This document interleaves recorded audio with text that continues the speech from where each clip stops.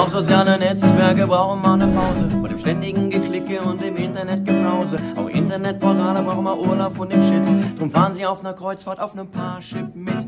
Tatterkreis Facebook ist schlecht gelaunt schon als das Schiff besteigt, weil YouPorn ständig jedem seine Genitalien zeigt. Instagram auch ohne Filter und ist schon wieder lappenstramm und schaut sich dabei eitel im Spiegel online an. Tinder wischt Kabinenfenster, sacht und klarer durchzublicken. Die Wahrheit aber ist, der sucht nur was zu tun.